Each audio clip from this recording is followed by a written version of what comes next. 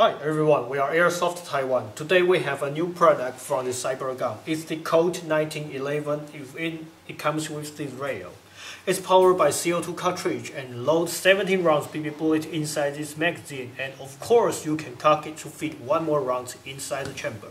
This is a, also able to field strip like the real stuff that is remove the slide catch and everything. You can do familiar with that. Um, this one kicks really hard and the frame and the slide are made of aluminum. And you can see the trademark logos on the both side of the slide. And on the other hand, you can see the Colt Trail rail gun. So everything is very smooth and comes with a violent kick and its power is from the sealed cartridge. So no wonder it kicks very hard and it's firing amazingly smooth and comfortable.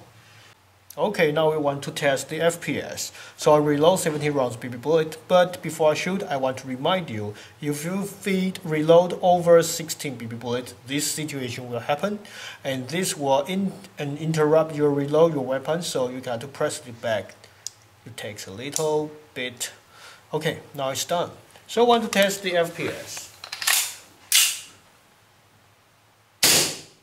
Okay, it's 83 MPS, also means the 274 FPS.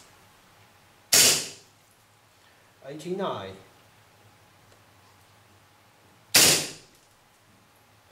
Two hundred seventy-one.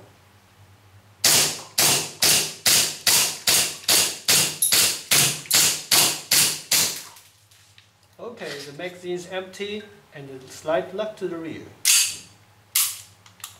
So it kicks hard but very easy to handle and control if you grab this weapon correctly. So the power by CO2 cartridge, according to my experience we just tested before, it can fire about 35 rounds BB bullet each CO2 cartridge, no problem, but the FPS will drop in the last 10 rounds. So if you need a uh, 45 sidearms for the war game and uh, your team rules allow you to use the CO2 cartridge. Maybe in snow or extreme cold condition, this one is a good choice. Thanks for watching. If you need it, please order from the Airsoft Taiwan online shop.